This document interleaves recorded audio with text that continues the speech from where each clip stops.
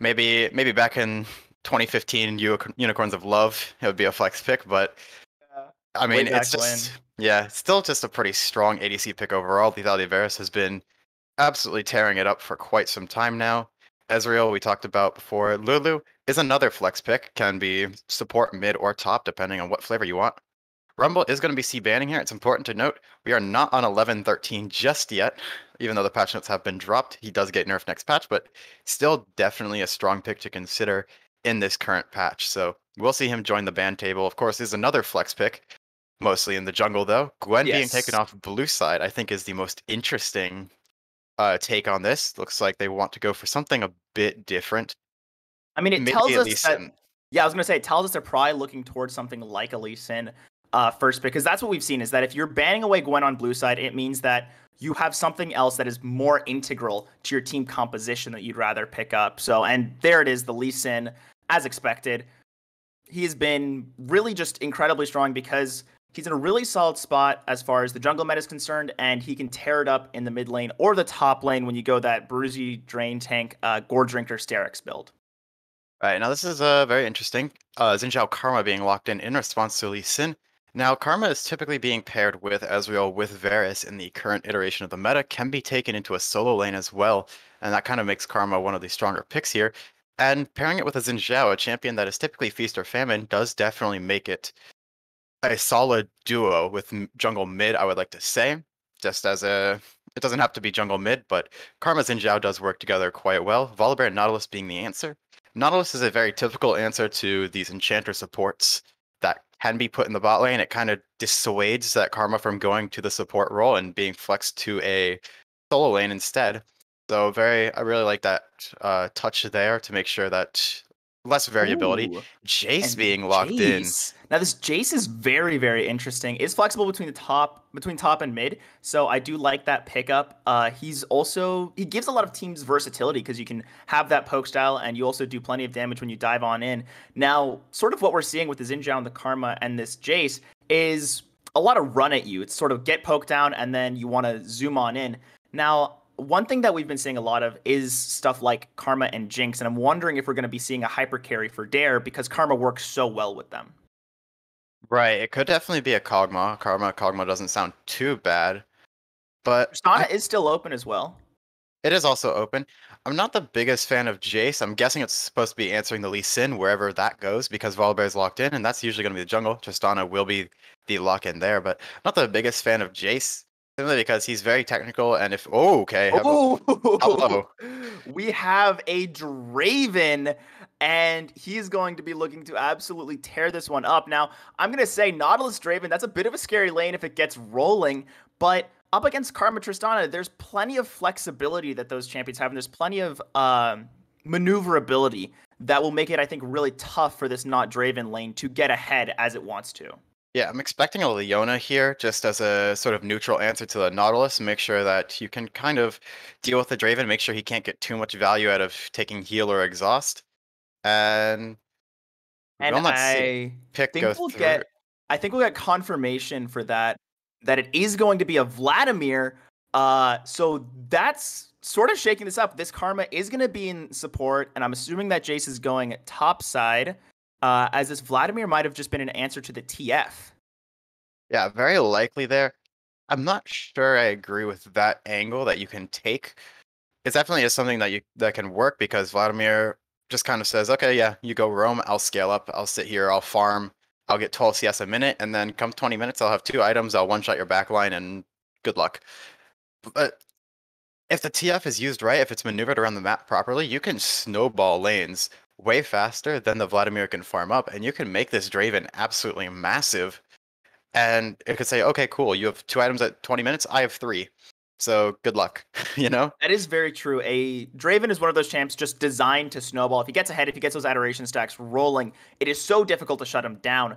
But we can't count Dare out, obviously, because while, yes, uh, C9 Amateur has really good team play, really good macro, uh, there have been some really standout performances. I mean, yesterday, uh, sort of the shining light of Dare was Eric Ziyang on playing really Xin Zhao and just doing so much with this champion, and really being part of the reasons why Dare was able to hold on uh, to Zeus at least in game one so well. And practice also has an intimate understanding of Tristana and all of her matchups. So I'm really saying that if this TF isn't used perfectly and this Draven doesn't get ahead, I really like Dare's composition because of how it scales together really, really well. You've got Karma with Shurelya's as well as uh, her own mantra powered E that can just zoom a Tristana, a Xin Zhao, and a Vladimir straight into your backline, and that's terrifying. Uh, absolutely correct. I'm expecting the Xin Zhao to build towards that tanky side, maybe go Divine Sunder into probably a Randuin's, I would say, is one of the more ideal options. Maybe he just goes Sterak's for the overall tankiness that it provides, but they don't really have the necess- uh, necessarily like, decent front line. It's kind of just Xin Zhao goes in, Vlad goes in, and then Karma buffs them up. But I think the main thing that we have to look at here is the fact that Karma is into a team that doesn't really use Serpent's Fang that well. And that's super important because a lot of Karma's power right now in the meta is her ability to just provide a massive AoE shield onto everyone on the team. And Serpent's Fang is kind of the answer to that, being able to reduce the incoming shields as well as de- decrease the amount of shielding that is already on them. There's not really many champions that can use that well here. There's Draven, but that's pretty much all single target. You're not going to hit like a five man stand aside or a five man whirling death. It's going to be mainly, okay, yeah, I'm hitting what's in front of me, they die, and then I'm moving back. But if Karma gets to shield the entire team, the single target Serpent's Fang is not going to be as impactful. That is true. It is it is not going to be as impactful. And that means that you're going to have a difficult time chunking through some of these players as they get these really, really massive shields. I mean, and I'm also assuming that Magi will probably be going towards uh, maybe a second item, uh, Chempunk Chain, or not Chainsword, uh, Putrefier, Chemtech Putrefier, uh, in order to really get this Lee Sin down and to get this Draven shut down as they both really like lifesteal. Yeah, both these uh a lot of these champions do love lifesteal here, a lot of healing here.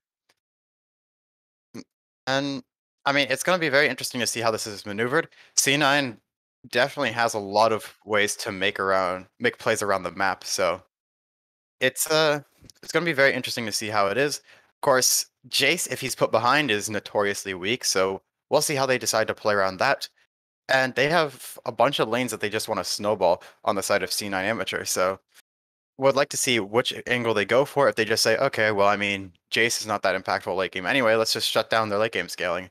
Or say, okay, let's just make Jace really useless. Very true. As we are on the Rift, game one between C9 Amateur and Dare White looking to get underway as this is a do or die series for Dare in this Risen Champions League. That, of course, there will still be one more game they'll play against uh, Glaive for uh, determining third and fourth place in the group, but it would count their playoff. Uh, it would get rid of their playoff hopes, and they would not be able to move on in this tournament. So they really need to pick it up here, and I think that putting Eric Ziang on something comfortable, putting practice on comfort, and Magi on this incredibly strong karma is certainly a way to get that done. Absolutely. Yes, we're going to see a little bit of a cheese here from C9 Academy. They do have a very strong level one, a lot of lockdown here. Uh, as yeah. they're just going to go straight for it. I'll let you take over here. They're coming in for the invade. Magi might get hooked up. There's the airborne. There's the root. Flash away. Doesn't get caught by the stun, but now Eric Ziang is hiding in the bush, looking to maybe turn this onto Breezy. I don't know about that one. Eric Ziang having to flash away as well. Ignite comes down. Whirling Axe as well but not enough to secure a kill. It looks like they'll just take the blue buff instead. But all in all, a really great start by C9 Amateur Squad. Yeah, bit greedy from Magi to not just immediately flash the Nautilus hook, and then Eric Jiang just going in for really no reason. There's essentially a four man in there, and he's going in one v three or one v four. The the bot lane clearly wanted to back off, and now he loses his blue buff, and his pathing is pretty much over at this point. He has to try and risk his life to invade the, the enemy top side here to try and get some amount of XP, some amount of gold, but if C9 Amateur can play around that properly and just be able to shut him out completely, there's a very good chance that this Xin Zhao only gets one quadrant of the entire jungle. Yeah, and that would be absolutely brutal as we're already seeing XU taking the Wolves as well. And it's so brutal to try and invade when you're already knowing you're going to be a level down, you're going to be down XP, you're going to be down priority. I do believe that there are some pings coming out from C9 as well to try and shut down any potential invade as they probably saw yesterday how uh, in the VODs, Eric Ziang and how impactful he was on the Xin Zhao. So shut him down early and shut down that from happening. And now, no flash on Magi. The hook lands. That looks like a kill and it's first blood for the Draven. Not what you want to be seeing. Uh, like I said before, Nautilus super good pick into the enchanters. But aside from that first blood, I love what e- what Iju is doing here. He immediately got all of uh, Eric Jiang's bot side, instantly recalls, and then heads to his top side. It's very very smart. It basically means that yeah, the Xin not getting anything because now he can just path towards bot lane. He doesn't really have to go towards this top scuttle. He can if he wants, and it looks like he will, but it's really unnecessary. As here we go. Practice having to double sum out. I mean, great timing, but this is just complete, you know, domination of this bot side. It looks like even two plates going down and all the CS getting denied. It's practicing Magi haven't even hit level two while Wixie is level three. Yeah, this is uh this is a bit excessive here just absolutely shutting out the bot lane, pretty much solo. I mean, the Volibear, the Volibear was on bot side for this entire time, and he didn't really exert any pressure there, other than saying, "Yeah, no, we know your bot side." That's about it. Like that's that's all the Volibear did. This is practically solo, and there is some amount of pressure involved in Actually, I'm going to shut up a little bit yeah. here just in case. Okay, no, no, no, you're good. Actually, didn't wind up stopping that back. Maybe he was on cooldown or just didn't quite get vision of the Zin. But regardless, this is still a really good position. As now Exu might be looking to try and dive here, as still this bot lane for Dare is only level two. Yeah, this is less of a dive and more of a you're not getting this. Looks like two, no, only one wave stacked up. Yeah, they're they're getting completely zoned here. Wixie is level four. compared to level two of the bot lane. This is an absolute tragedy for the bot lane. I would hate to be playing in this lane right now if I was practice. It is. And it looks like it's getting a little bit worse. The hook does land those that aftershock stats, actually probably keeping Breezy alive as he did take a couple tower shots. But again, this is just so much pressure being exerted as Magi in practice wanting to use these aggressive picks are really struggling as they got faced with even more aggressive picks. Yeah, definitely one of the uh, one of the weaknesses of trying to play with these enchanters here, especially if you're as proficient as Breezy is on these types of engaged sports like Nautilus that can kind of shut them out completely. Wixie will literally just reset here. Looks like he will be building towards an Essence Reaver, so we'll have a very strong, very early one item power spike. Will not be as strong as a Mythic, but Draven definitely uses the Essence Reaver proc very well. Sheen off of the spinning axe definitely does deal quite a bit of damage here.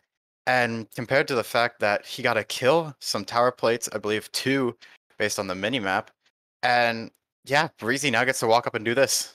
And they just can go for every single one of these hooks. Exu oh, is no. in the river, and they don't realize this. I, this could be death for Magi in practice. They don't realize war. There's action all over the map. His top side's in a bit of a scuffle. Forced flash out of Magi right as it came back up, and this is just permanent pressure in this bot side as C9 are trying to shut them down. Yeah, this is uh this is page one if you open up the textbook of how to play Draven lanes. uh, this is this is exactly what you want to see your Draven doing early.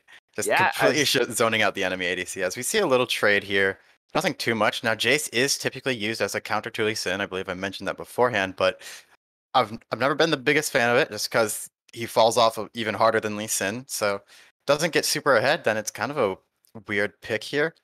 And it looks like he's just going to be staying neutral even in CS. And compared to what's happening on the bot side, it's not really enough. Yes, you definitely need to have another winning lane to make this work. And now it looks like they're trying to shut it down even harder. Modified getting ganked by the Destiny as the Dragon Kick comes down. Actually, might have been enough to ferry him safety, but no. The vision given by the Ignite and the burn coming down means Captain Shrimps can pick up his first kill of the game.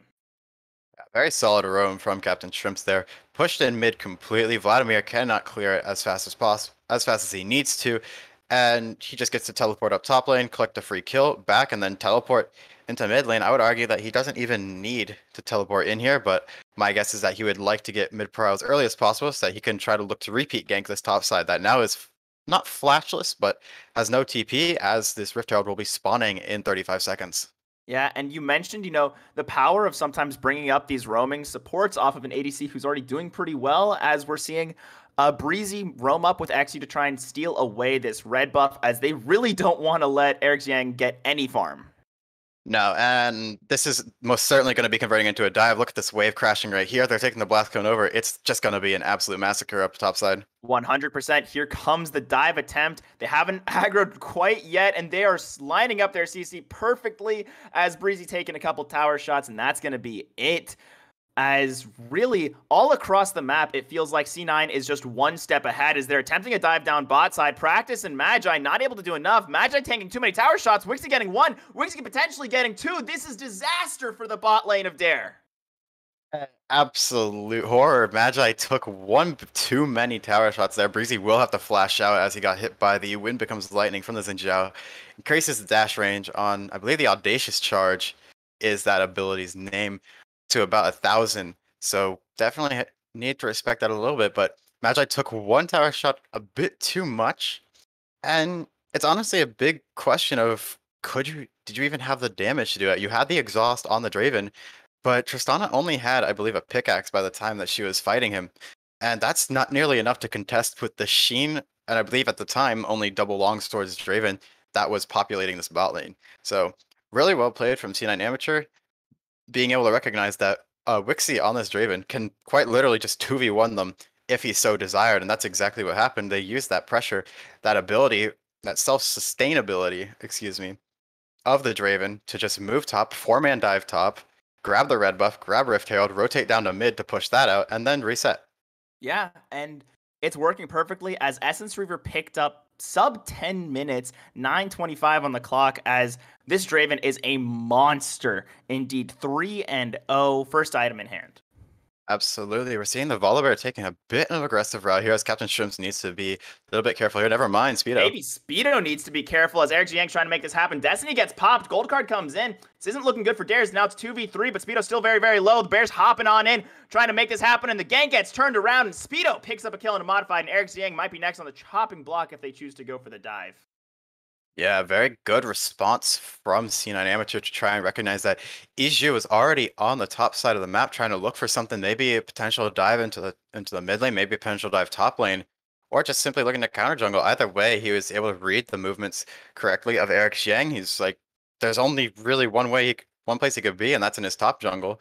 So he has to make a play topside somewhere. Read that perfectly and was able to respond. Of course, the Destiny Gate did come out from Captain Shrimp, did burn that rather long cooldown. It's only about two minutes early, if I remember correctly.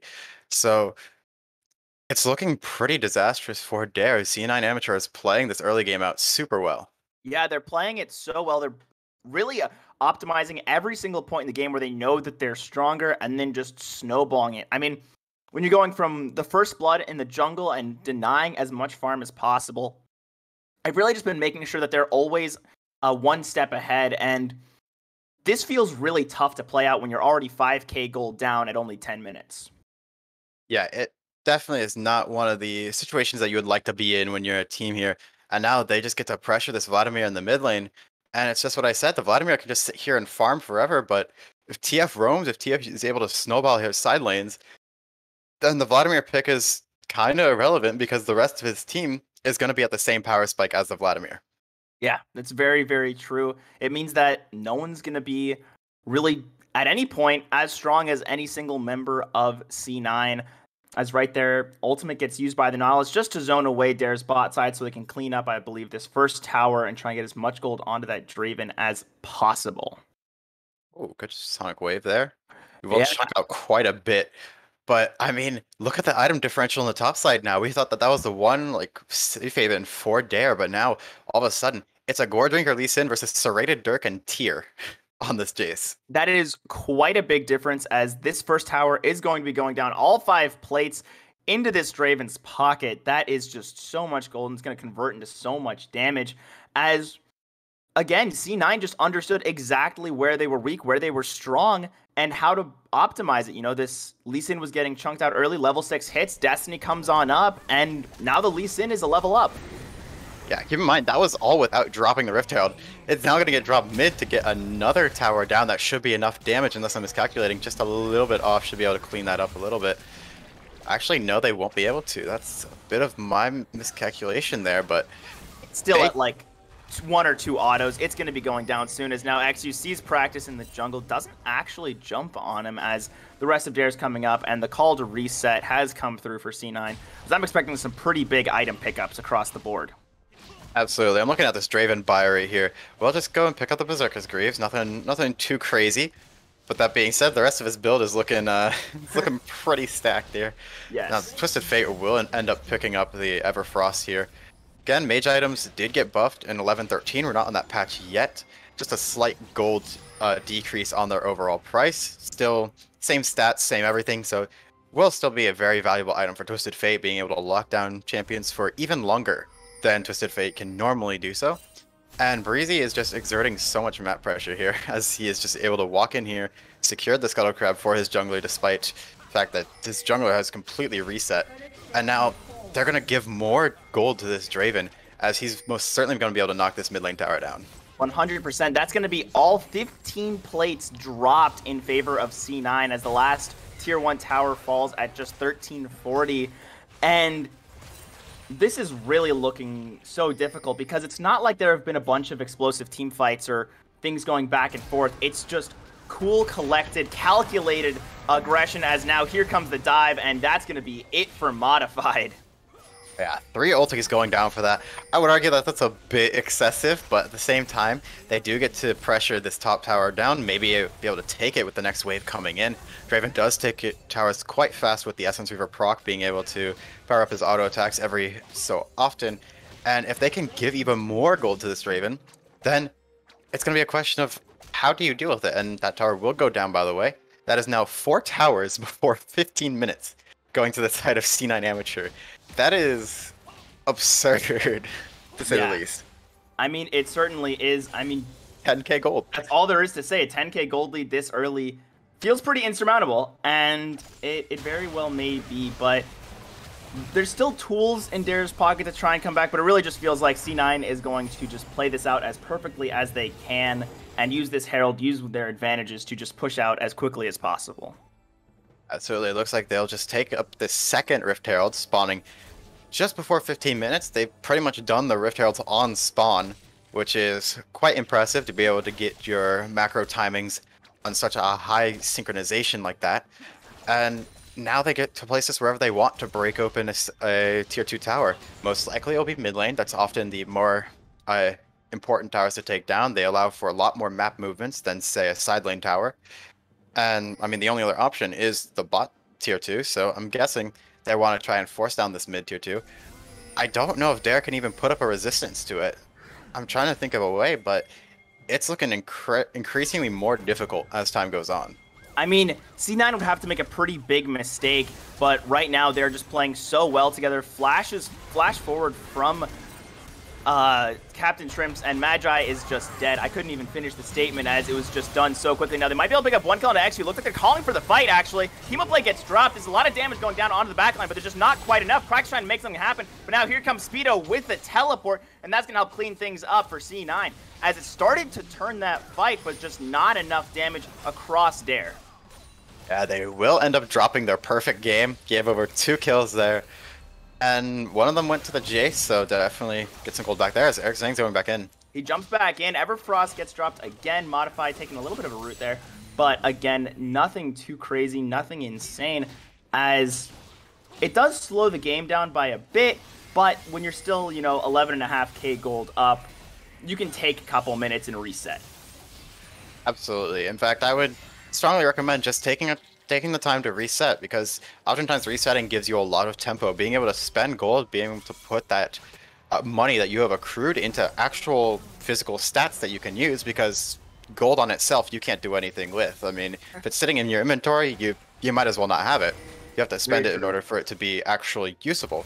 So, oh yeah, 100%. resetting is oftentimes really good tempo wise because not only that, it allows you to reposition the entire team if you synchronize it well enough and move it to a different point in the map without having to do some weird sort of Jenga and hmm. Tetris to try and figure out how to get these pieces to where I want them. No, yeah, absolutely. Resetting as a team means that you can just take a second, look at the map, and just say, hey, where can we exert the most pressures? Now, it might be mid lane once again. That was a disjointed hitbox I've ever seen on a Magi, but now Eric Yang trying to come back in. This is a 3v4, but Destiny gets popped, meaning this should be a 4v4 any second. But honestly, I don't think you need extra members when you've got such strong members like Wixie and the rest of the team coming down as here come the kills going everywhere. Speedo on a killing spree and the Gale Force used to clean up onto practice as every single fight is going C9's way. They're looking to knock down more towers. Absolutely. That was...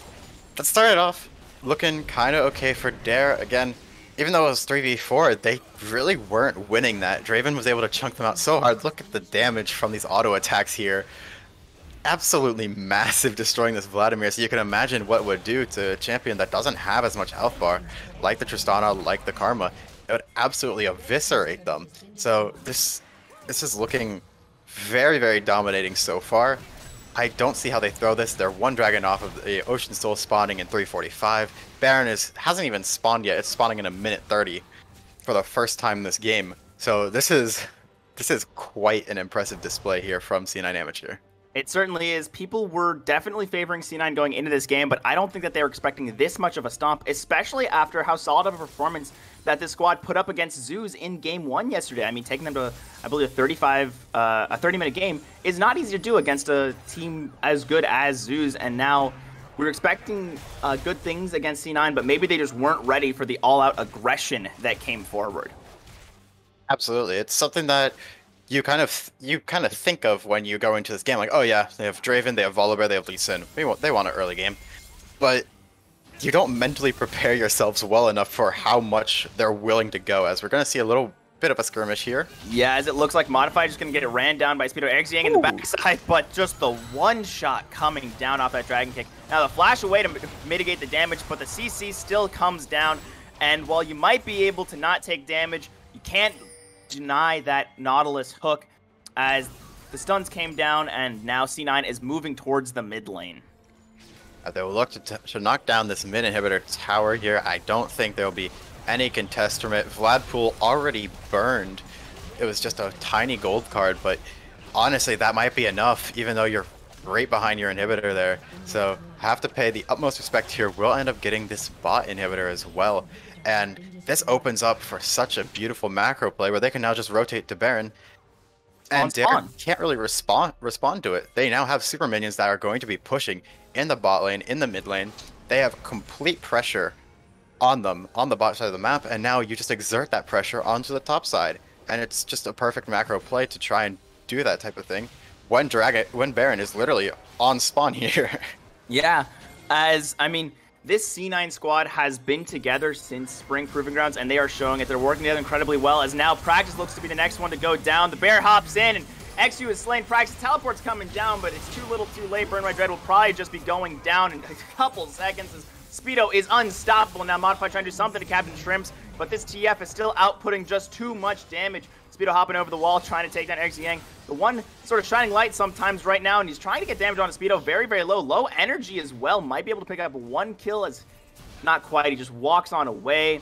Serpent's Fang in hand is going to be doing tons of damage to whoever he sees, and now this might just be the game. They've got supers in the base. They've got their Draven. Is not looking good. Practice did just respawn. Breezy going low, but it might just be too little. Speedo looking to reset as he does have the teleport if they want to try and continue this push. Eric Jiang getting chunked out, and there's the Gale Force Forward absolutely chatting out. Magi is still somehow alive. Practice picking up a kill on Breezy. That's great for him, getting the rocket jump reset, as now Modified might be trying to pick up a kill on the backside. This Draven is very, very low, but in comes the Twisted Fate as well, and now here comes the CC chain stunned and locked and loaded as Speedo is dominating, as C9 have been this entire game. Yeah, Wixie kind of kind of killed the Breezy there a little bit. Walked towards him as he had the fully charged Tristana bomb on him. Little little unfortunate there, but does end up saving practice. Actually, you did mention getting the rocket jump reset off of the kill here, and now they're just going to go back to the Baron here. They did a little Baron bait. They turned. They got a bunch of kills, and then they're able to burn down a little bit of the Nexus towers. Got the top inhibitor as well. So now there'll be six minion waves, or six super minions that. Uh, that they now have to deal with pretty much every wave, and it's going to be very hard for them to even try and pressure this Ocean Soul that has just spawned.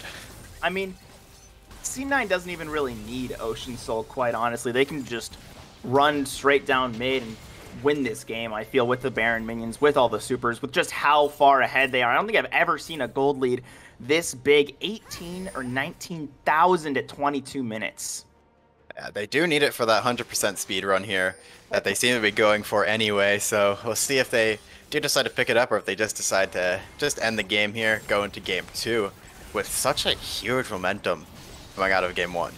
Absolutely. It can certainly be tough to try and play against a team who just demolished you like that, as now Eric Xiang's going to be the first one to go down in this final fight. As Burn My Dread did get the full popped, has the Hemoplague going, is trying to heal up, but it won't be enough. Captain Shrimps rampaging through the opposition as the Destiny comes down, looking to try and pick off Magi one last red time. Card. Everfrost lands, didn't quite get the gold card, hit the red card, so no stun there, but you don't really need it. The stun gets popped on the while they're in the fountain, but that doesn't really matter. Modified up on the side, don't really care about him, as this will be game one going over to C9 Amateur in dominating fashion in just 23 minutes.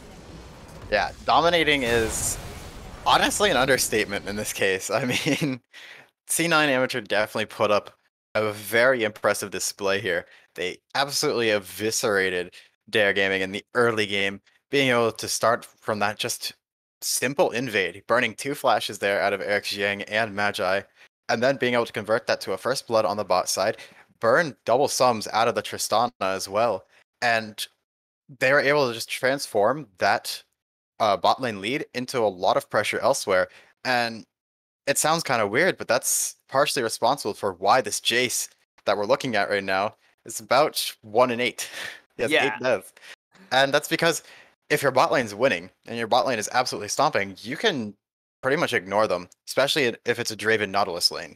And now GU and Captain Shrimps don't have to invest anything in the bot side. They can now start putting resources into Speedo because Wixie and Breezy are already absolutely stomping their lane. It's a very solid decision to do instead of trying to just hard snowball one lane. You say, okay, what if we have every lane winning instead of just one?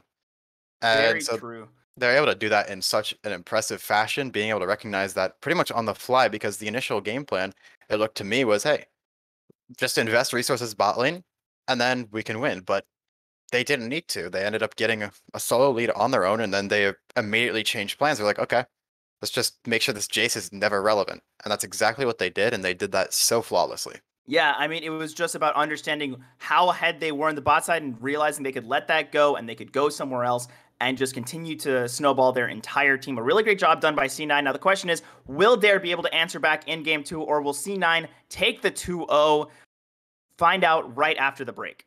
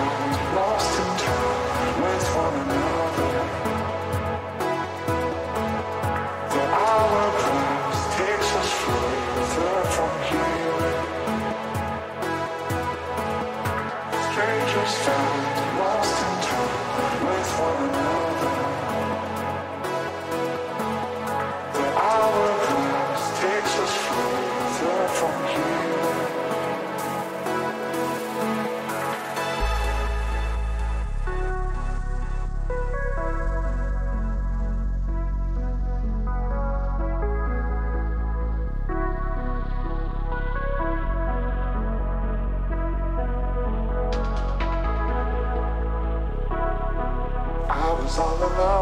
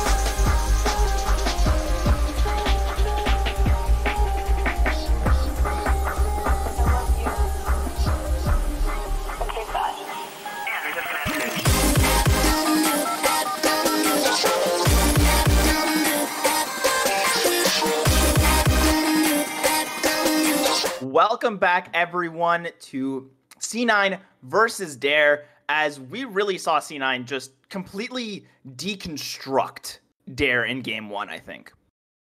Absolutely. It was it was a bit rough looking for Dare there. Now, going into game two, uh, it's important to just kind of shake that off, say, okay, we lost one, it's fine.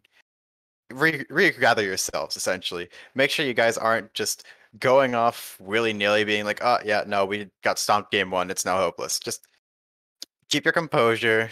Think about what you need to do, what you need to adapt to. and essentially prevent the C9 speedrun is what they're trying to do. So Very true. Yeah, they're trying to just play their lanes incredibly aggressively and turn that into um a, a game victory. And you know, maybe Dare needs to pick some either more aggressive or maybe more defensive options for the early game so that they can try and slow down this game plan that has been coming out of uh, Cloud9. As last game was really just snowball after snowball. The second they get an advantage in one area, they let it push to its maximum and then they transition it somewhere else. Yeah. They essentially just need to try and prevent that initial snowball in the map from starting in the first place. And that way, it makes it much more difficult for C9 to get those plays rolling. It makes them much more likely to make a mistake trying to force those plays and then react, punish them appropriately, and then try and get something off of the punish here. We're going to be going into draft though. Daryl will ban Rumble first out again. Very strong pick. Varus following up. Haven't seen any variation in the bans yet. Ezreal following. Already discussed most of these bans here. There yeah, and just doesn't look like any adaptation. I mean, Lulu Karma. denies Kog'Maw as a pick. Uh, Varus is just very uh, solid. Getting rid of the Karma, I think that's good out of Dare because you probably don't want to be first picking it uh, as Lee Sin is up. So they opt for the Lee Sin pickup and they don't want to let C9 get that really aggressive support. So I think that's a good option on their end. And the Gwen ban away from C9 definitely don't want to be playing into that. Absolutely. So they did they did adapt. They did pick the Karma away. Went for the Lee Sin, and here's a counter pick that I love seeing. It's the Sett into Lee Sin. Absolutely terrible matchup for Lee Sin. Sett wins it. I would say 70-30. Yeah, we'll it is the thirty percent. It is not easy because Lee Sin operates on these really tight margins of damage where you just get enough, and Sett loves to operate within those because you have the haymaker, this giant shield, and you will survive, you know, Lee Sin's burst. As we are going to see a repeat on the Nautilus for Breezy, really putting on a masterclass with that champion. Yeah, such a powerful pick here. Taric Hover is something that's interesting. It is a more tanky option. It will be locked in, actually. So it'll be Taric Gangplank. So this Lee Sin look like it will be not going into the top lane. Again, Sett is still a very good flex pick. If this Lee Sin is going mid, I very would much would like to see C9 flex it to the mid lane. Make sure that you get that insanely oppressive matchup as Jarvan is going to be hovered here. Have not seen this champion in quite some time. It's definitely not been priority for some years. Yeah, actually, uh, did see some J4 yesterday, but uh, if I'm not mistaken, I think that I saw uh, something from the players that this was a misinput and that it was uh, supposed to be Sylas instead of the Jarvan. Um, so clarification on that front. We won't be seeing a Jarvan for Cloud9. I believe that is supposed to be a Sylas pickup. Okay, that would that would make much more sense. There are plenty of impactful ultimates here. Lee Sin, Taric, a Gangplank. Some of the best ultimates in the game, bar Lee Sin, but Gangplank, Taric definitely have those really impactful ultimates coming out. Kai'Sa, Tristana, Aphelios, and Caitlyn. We do not like ADCs. Yeah, ADC pools really being pushed here as we've had six ADC bans uh, in this draft. As you know, w- alongside Nautilus, there's still so many options that work really well. Um, what in your mind do you think synergizes with Nautilus of remaining supports? I mean, not about this ADCs. earlier, but I think Kalista definitely is one of the things that could pick up. A and yeah, there it is. There's a Kalista. I mean, it makes sense. You know, the counter engage with the oh ultimate, oh you have uh, the ability for tons of damage with Nautilus engages. And now to round out theirs draft is Akali and Jinx. Now, Jinx, not the strongest early game. She gets picked uh, against the Nod. It might be tough, but this Akali certainly is going to be a bit of a spicy pickup. We've been seeing her band away at all levels of play, and I'm so excited to see how they take it. Yeah, it's a it's definitely a very strong pick here. Nidalee will be the last lock in here. That one is and... a bit questionable for me because there's not that much solid lockdown on the side of C9 that can guarantee the Nidalee Spear to land. A lot of the times where you see a Nidalee duo that has really strong presence in pro play is where you can lock down the enemy for quite some time, gives enough time for a decently long range spear to hit. In case you don't know, Nidalee Spear, the damage does scale with the distance it travels, so landing a long range spear rewards you much more than hitting a point blank one. And so they don't have much of it that can go for it. Sure, Nautilus as a champion, that's one that you can count. Sett can kind of do it with his E, but it's a bit iffy because it's not something like an empowered Renekton stun that we often see so many times. It's still doable. It's still a very aggressive early game champion. I'm expecting this to make movements around the map in conjunction with the Sylas here. Be able to make plays, especially with the Nautilus. Maybe we'll see a bunch of four man top lanes punish the Lee Sin. Maybe we'll see four man bot lanes. Who knows? I mean, I'm pretty sure this is going to be at least in jungle, as I don't see Akali or right, Gangplank right. filling that role. So this does feel uh, like a bit of a blast from the past and seeing Nidalee versus Lee Sin um, going up against each other. And they might opt for, you know, those old school three camp clears into just heavy gank presence. And honestly, I'm really excited to see what Xu can do on this champion because we've already seen him be very, very effective at rotating and using those early advantages, being aggressive. And Nidalee is the aggressive early game champion. So I think that if they can get rolling, it's going to be really tough. Now, in the bot lane, we're not going to be seeing a repeat on that Draven. It's going to be a little bit more tempered with that Kalista, but still plenty of pressure that can definitely be put out. Absolutely. Jinx does do decently well into Kalista. It's not necessarily a good matchup for Jinx in any means, but placing down the Flame Chompers can absolutely stop Kalista from getting in. Jinx does outrange Kalista quite significantly in the rocket form. So does have some points of mention to prevent this Kalista from doing anything too severe to her.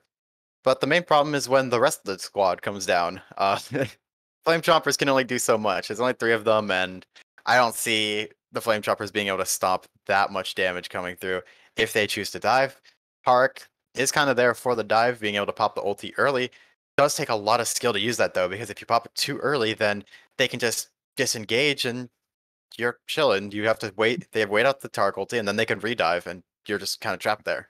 Yeah, it is certainly going to be tough to play out, but it is going to definitely be very, very interesting to watch. I think that this is a good adaptation out of Dare. They have some really great aggression, and they have so many options as we are getting right onto the Rift. As the we'll see, will C9 be able to pull out the 2-0, or will Dare answer back and keep their RCL hopes alive as we're already seeing a bit of a group up from this team staying on the bot side, maybe looking to get some cheese of their own. Yeah, it's definitely something that we want to look forward to to make sure that we can uh, get get even a game three in here instead of just going for another 2-0. Well, I'd be very interested to see how they adapt in the long run here.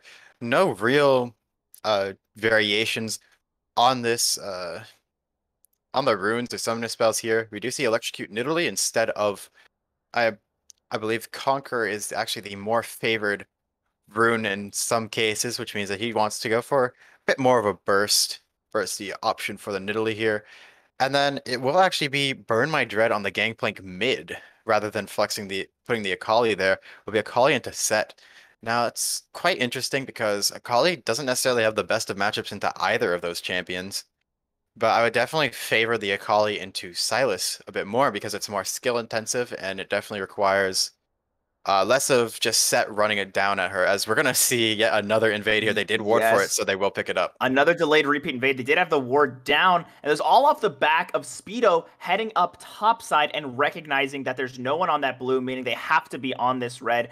And whenever you've got a Nautilus and a Kais, uh, not a Kai'Sa, Kalista, it is going to be so so difficult to try and make it work. And the instant response, Eric Jiang heading up topside, and this shouldn't be so dominant as we saw last time. There should be potential for some vertical, or at the very least, not just a complete um, thievery of the jungle, as a little bit of action already on the bot side with Breezy landing an early hook. Well, don't speak too soon because we're gonna see some early action here.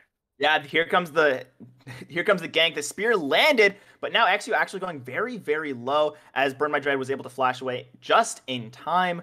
That was very, very close because I wasn't even expecting the spear to land. And when it does, you know how much extra damage uh, Nidalee can get. Absolutely. That flash was critical there. We'll see some of a little bit of a skirmish into that. Beautiful use of the Kalista spears to get the rend reset off of the minion as well as poking the Jinx down. Kalista is one of those champions that is very mechanically intensive. It's champion I personally love playing. One of my favorite champions in this game, and she has a lot of sort of minuscule things to do that you can definitely improve your damage output with. As we're going to see Yes, Just why this uh this matchup is not the best for Akali here. Yeah, the second Speedo got that early level three. While Modified was getting some good harass down, it wasn't quite enough. It's now Magic oh level God. two. An instant teleport, bot Speedo looking to try and make something happen. His practice is still only level one. Stun comes down onto Wixie, but it's not enough as Breezy's still barely alive, actually, as Magi trying to do what she can. Now Magi picking up Breezy Speedo, looking for the re-engage. On the top, there's Xu. Speedo could be going down. Teleport uh, popped by, not teleport popped by El Aaron Yang. This was just so chaotic, I could barely keep up as I am not used to seeing level 3 teleport dives in the bot side. Yeah, we, you said that it would be a bit more tempered down on the aggression now that Draven wasn't in there, but looks like they just want to prove us wrong today. Speedo teleporting down level 3 to get the dive off, but he then misplayed the redive onto the Taric. It was free, you just needed to let the Kalista tank it. But instead he chose to re-go for it. I believe he greeted out to grab the kill as well because I don't remember him actually getting a, getting an assist onto the Jinx, unless I'm recalling so, incorrectly. No. Um, so yeah, he did get the kill onto the Taric, so I guess you could say it's one for one. Taric did get two kills, but could have played it much cleaner. Just let the Kalista tank. She has mobility anyway. If she just auto Q, hop away E, you're good to go. Very, very true, as now both junglers around this bot side maybe trying to make something happen as now Practice and Magi not in too bad a position. While yes, those kills did go over uh, to Magi, having a little extra gold on your Taric is never uh, that bad. As you would like to snowball the Jinx, but she's still not too far behind. Yeah. Actually, I'm, re I'm rethinking it. it. probably did that just so that the Lee Sin coming down didn't get the kill. Now that I'm sort of re-evaluating that scenario, because I found it a bit peculiar that they messed that one up, considering they've played it pretty cleanly the rest of the series, so that's my guess as to why he chose to take the tower, give the Taric the kill instead of Lee Sin, which I can definitely see as a valid reasoning behind that. Absolutely is. Now, pathing up towards top XU is looking to try and punish Modified as he is so far pushed forward. Now, Modified did spot it out. We'll use some of that. We'll just walk away, and that should be enough to stay alive. A lot of pressure top side. Sylas did dip into Fog of War. They have no idea that he reset here, but Modified, Modified will take a lot of damage here. Yeah, Modified getting pulled in, trying to use that Shroud as well as possible. Getting Speedo very, very low, but actually dashing on forward and taking the kill onto Modified. Now, Eric Yang was looking to try and respond, but not able to do anything. Such an unfortunate. It looked like she barely didn't have enough energy to get the auto Q off. I believe she might have been like 10 or 5 or 15 energy off of getting that Q off. And that definitely would have resulted in the Sett kill and Still would have died nonetheless, but would have gotten some gold in return, and it's really unfortunate that she didn't get the energy regen in time for that play. That is really, really tough. As now another potential mini dive bot side. Magi landing the stun, Breeze taking an extra tower shot, but Wixie's still so far ahead on XP over Dare's bot side as at least a full level up. Absolutely. It's very, very impressive down here. They did crash the third wave in for that dive, so Jinx ended up missing out on quite a bit of XP, so that dive was still insanely worth for this squad here. Kalista can now exert her dominance. She has the Vamp Scepter, so any bit of poke that she takes, she can heal up right away just by autoing a few minions twice. She probably also has Taste of Blood in her runes. We unfortunately do not get to see the full rune page here, but I'd be willing to bet she has Taste of Blood Ravenous Hydra, as that's the most common uh, sort of domination page that you would go for uh, when you're an ADC, so We'll see them get some poke out here. Poke does yeah, a little miss, more hook. It's gonna be another dive. Yeah, another dive as Captain Shrimps is here. X Yang is looking to respond, but I don't know if that'll be enough. Now the Terra picked up for the Sylas.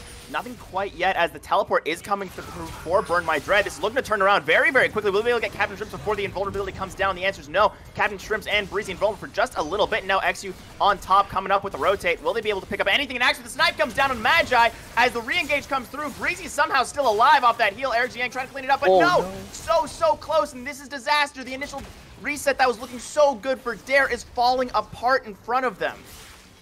Yeah, it definitely looked like an over uh, an overextension from Captain Shrimps there.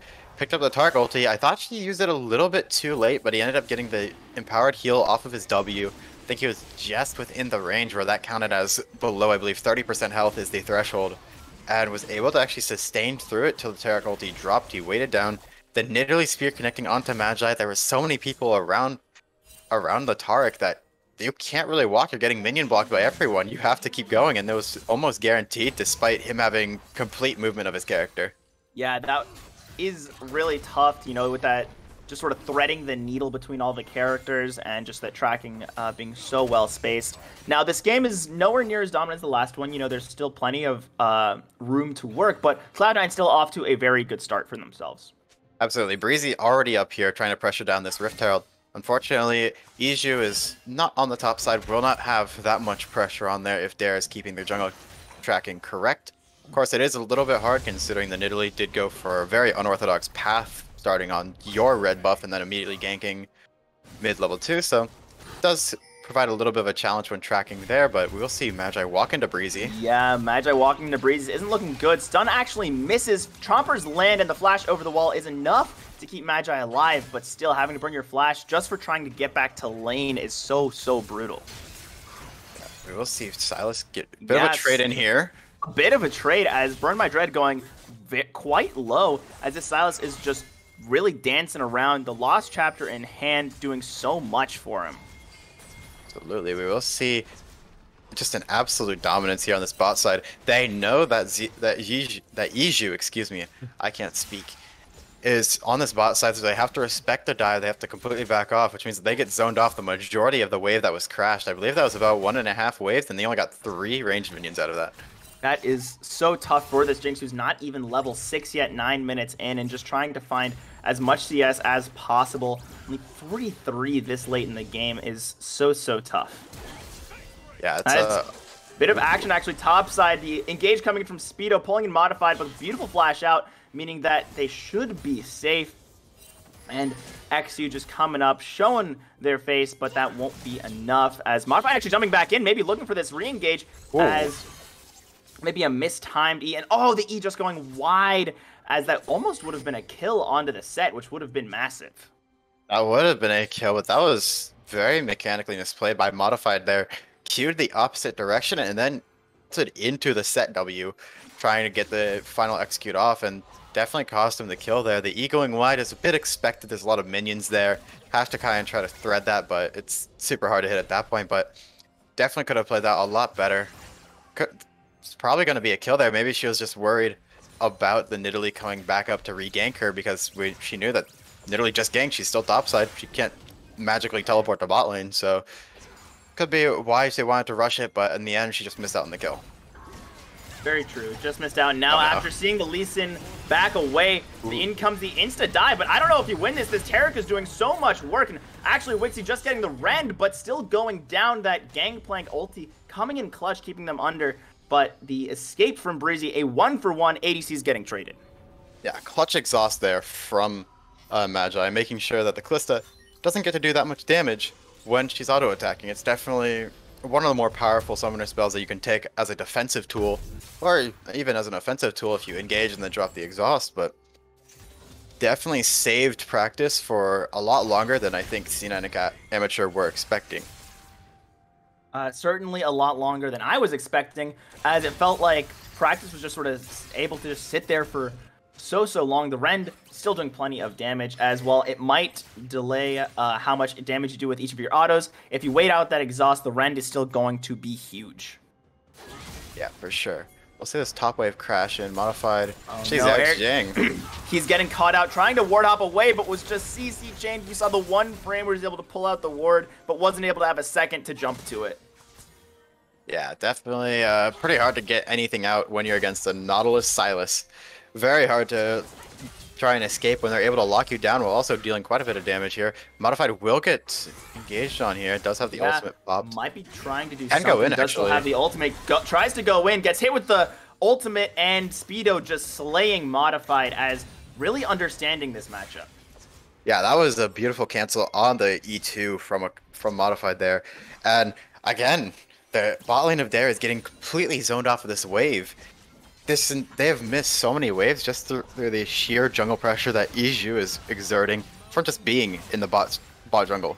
Yeah, it is so tough for this Dare bot side to try and really do anything as they're really getting completely zoned out. As you said, this is just a masterclass really of wave management by Cloud9 Amateur. Yeah, especially from Iju and their bot lane being able to recognize when we're stacking the waves, when they're crashing, and when you need to be bot sides, that they have to back up and respect the the pressure that we're exerting there. something it's really nice to see as I was a little worried for Burn My Dread there. We will see Modified clearing out a ward here. Dragon started up from Iju. Should just be going over to them. No contest. Lee Sin. Is in the bot quadrant, but Breezy is definitely zoning him quite hard. Yeah, as now Eric Zhang just trying to pick up his red buff, and now actually Ixu is going to hop over the wall. Here comes the ultimate. Now the collapse coming in from Magi in practice, meaning that their jungler should stay alive as Wixie is over the wall. Does use the Q to hop over. There's now a 3v3, not looking too great for Dare, as the Taric just gets CC locked. And now here comes the Sylas looking to clean up onto the Lee Sin. The jump comes over, but will it be enough? Uh, the flash over Blast Plant really, really nice job to stay alive by Eric Zhang, but again, still so much control over this bot side from Cloud9. Absolutely. The bot lane has been in absolute control this entire game. It's really beautiful to watch Wixie and Breezy putting on quite the performance here as Speedo definitely making some plays of his own just in the just in the solo lane on his own little island as top laners normally love to do. But yeah, it's it's been an absolute domination of this bot lane. Yeah, and again, it's not just kills, it's not just these skirmishes, but it's also getting the most out of every single one. All of these fights haven't been without reason. They're not just getting kills for kills, they're getting kills to deny waves. They're doing it at certain points that they've optimized to deny as much gold as possible, and it's really, really uh, fascinating to watch. Absolutely. A lot of people are like, okay, yeah, don't fight until there's an objective, but minion waves crashing is a form of objective. It's a lot of gold that could be pumped in. It's a lot of XP, and being able to deny that from the enemy team is definitely worth trying to dive and trying to get kills on them. So, especially in this early game, it becomes a little less important later on as there are more important objectives up, like Dragon Soul, like Baron, even Elder if we get late enough. But it's always something that you need to consider. Those are sort of early game objectives that I feel like a lot of teams don't try to abuse and try to force teams to give up. Yeah, in a way, it sort of reminds me of the uh, active, you know, CS deny mechanic that's within uh, Dota, where you can uh, CS your own minions to deny them from the opponent, and this is sort of a form of doing that, crashing them into towers really, really well. Yeah, a bit of a Bit of an old school game. We can't really speak on uh, League of Legends though, however. Not too much. Is now the dive potentially coming in, but I don't think they were ready for this one as Wixie just gets pulled right back into Dare's waiting arms and Burn My Dread slaying down Wixie off of a beautiful Insec by Eric Zhang. Yeah, really solid to get that angle actually. Really one of the most mechanical, uh, mechanically intensive things that I've seen this game so far. It's all just been a lot of macro, and I mean C9 has been winning it so far. Yeah, but right there, at the very least, that slows down some of this tempo. It forces the reset on the ADC. It denies a little bit of pressure mid. Now, this uh, tier 1 should still be going down relatively soon as it is very, very low. But at the very least, you're trying to answer back where you can. As the fight isn't over yet, Captain Shrimps jumping on Eric Yang, not quite in one-shot territory, only having that Everfrost in hand, but still doing a really good chunk of damage onto this Lee Sin. Absolutely. This Sylas is decently fed, does have the Everfrost at 16 minutes. It's nothing nothing too insane, but it's still nothing to scoff at either compared to the very little items here. Yeah, as now Modified getting caught between so many members of Cloud9 as the duel was looking okay against the Sett, but it was really just a bait for the Nidalee and the Nautilus to come up the side as it is really, really tough out here because C9 just moves together so well. Yeah, taking a skirmish versus a C9 amateur essentially means that you're going into a 1v3 from the looks of it. They've been able to make a lot of these 1v1s here turn into just complete washes due to numbers advantage. And yeah, of course, this has been an exception though. Yeah, I am going to say Burn My Dread and Captain Shrimps going back and forth. Uh, Burn My Dread still pretty strong. I did love that little interaction with the preset barrel um, that I don't think Captain Shrimps was ready for. Really, really uh, well done. Good awareness by Burn My Dread of how to set up uh, these spaces when you are playing uh, Gangplank.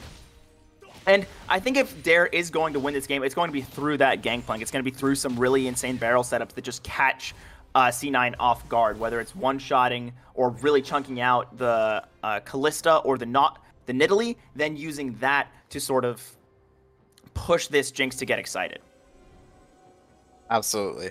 Being able to actually chunk out a lot of a lot of these members on the side of C9 Amateur with barrels with the Gangplank ulti is something that definitely needs to be abused by Dare at this point in the game. 2-0 has the Triforce, is pretty much the strongest member on their team. So they definitely should use this, use that gangplank to accelerate what they can and try and contest what they can.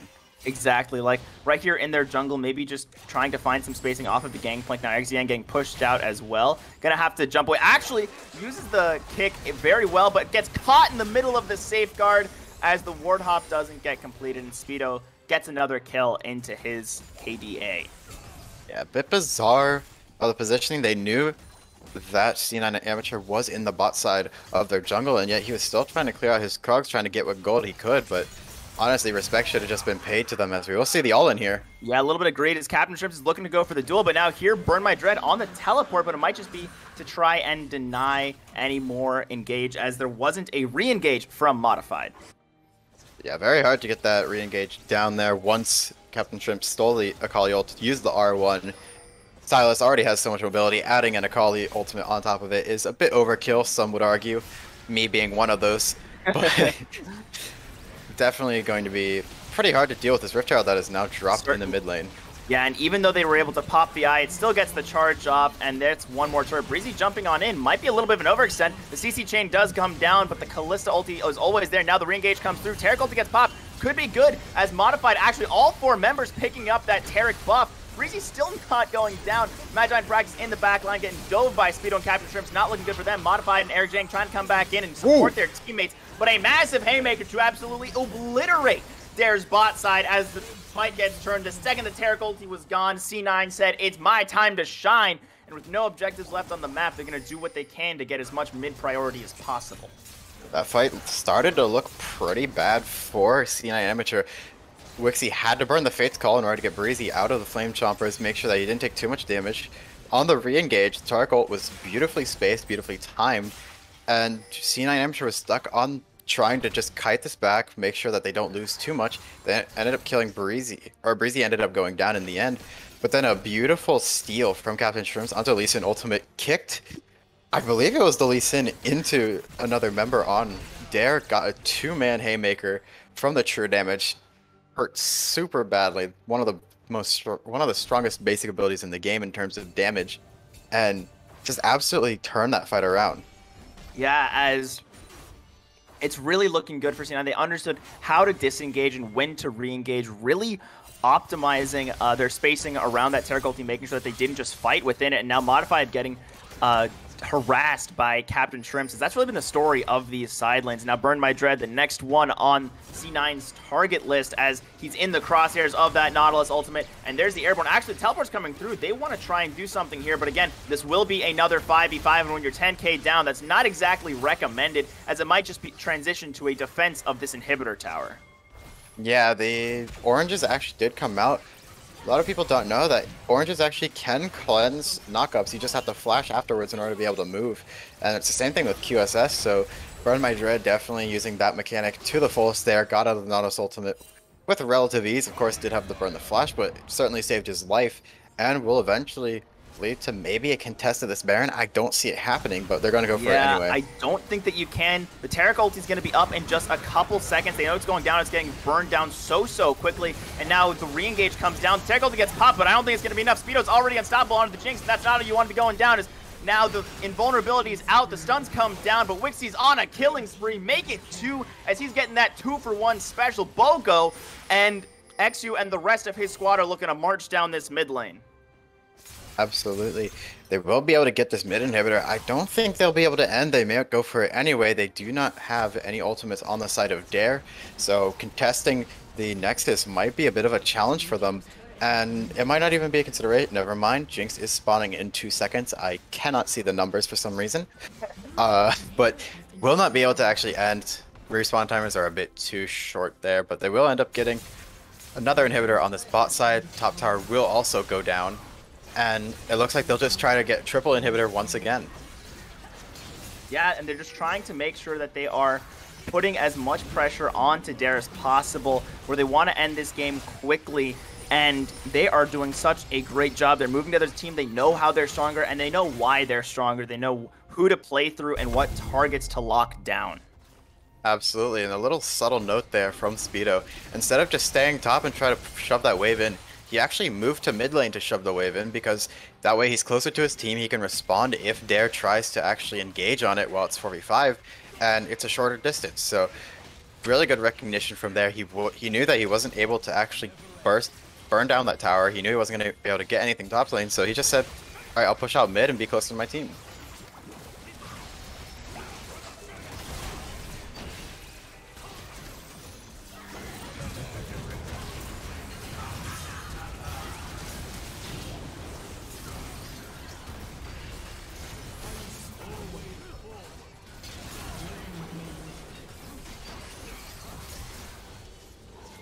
Okay, it looks like we lost our uh, lost my play-by-play -play here for a little bit. Oh, but... I realized my microphone was accidentally off as I was going crazy throughout that entire fight. My apologies, as that was the game-ending fight. It was going absolutely crazy, and now the teleport's coming in to secure the Nexus Towers. As once again, in sub 25 minutes, Cloud9 Amateur are going to be taking this game as real dominant fashion, confirming that Dare will not be able to make playoffs for this Risen Champions League, and Cloud9 will, should be moving forward with a 2-0 opening in this group. Yeah, very strong performance from C9 Amateur here, showing that they're definitely one of the stronger teams at this tournament. And the current state that they are in, of course, doesn't reflect on what they will be performing at as they move into the playoffs, as I believe with this win here, they are confirmed to move into that position. So will be interesting to see how far they go. But as for Dare, uh, yeah, that's really unfortunate. They're getting eliminated right now. But honestly, C9 Amateur just played super well. They've been playing with each other for, I'm pretty sure, since the beginning of the spring split. And so definitely have a lot more practice, are just working much better as a team overall. There's really not much to say. I don't think that any of these players are mechanically better. They just had better macro, better team coordination, and better synergy overall. 100%. Their synergy was really, really great as this team has been playing and practicing together since spring proving grounds. And it really shows just how uh, well they can play together, how well they understand the map, and how well they understand each other's play styles. It's really, really fun to watch now.